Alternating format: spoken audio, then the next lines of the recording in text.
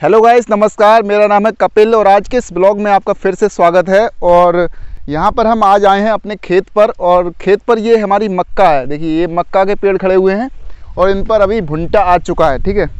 तो चलिए आपको दिखाते हैं, यहाँ पर कुछ जो साढ़ होते हैं ना, वो नुकसान कर जाते हैं। तो यहाँ पर साढ़ कुछ नुकसान कर गए हैं तो मैं आपको दिखाता हूँ क्या नुकसान हुआ है। ये देखिए, ये पेड़ आप देख रहे हो, ये मक्के का पेड़ है। तो यहाँ पर ये जो भुंटा आया था, ये देखिए इसको इन्होंने तोड़ दिया।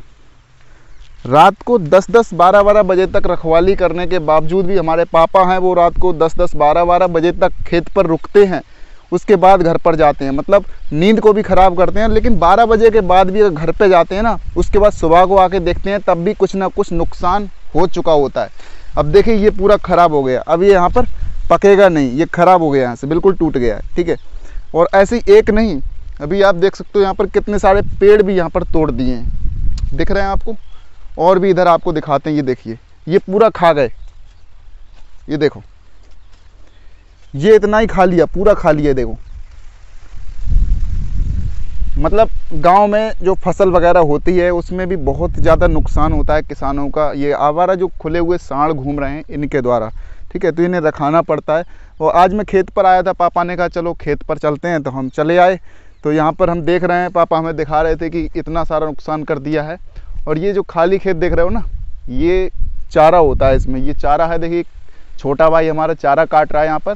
तो आगे चल के आपको दिखा देते हैं। यहाँ पर देखिए, मौसम कितना अच्छा हो रहा है आज।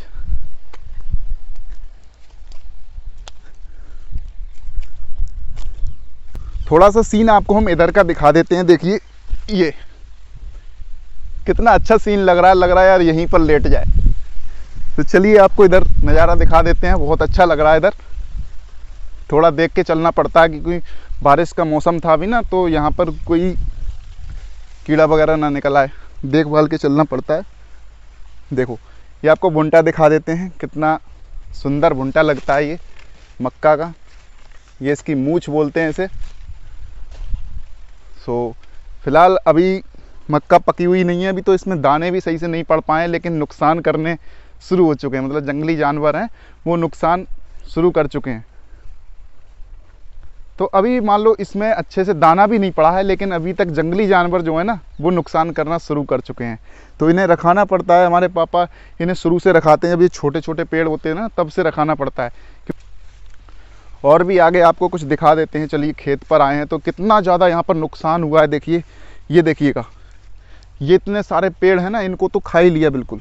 ये पेड़ ही खा लिया, देखो। ऊपर का पेड़ ही नहीं है, ये देखो। ये पेड़ ही खा लिया सीधा, ये देखो। ये मतलब इतना ज़्यादा नुकसान होता है और उधर देखिए, इधर पानी भरा हुआ है। आगे चलते हैं। ये समझ लो, इतने अंदर आके खा जाते हैं। मतलब रास्ता वो है वहाँ पर। वो वहाँ पर, वहाँ से यहाँ तक आते हैं रात में, सांड वगैरह और खा लेते हैं। देखिए, चारों तरफ़ यहाँ मक्का है, लेकिन बीच के कोने पर भी यहाँ पर इन्होंने खा लिया है। मतलब ऐसा नहीं कि किनारे पर, सड़क किनारे होती हैं, उन्हीं को नुकसान होता है। जो अंदर होते हैं खेत, उनमें भी नुकसान हो जाता है।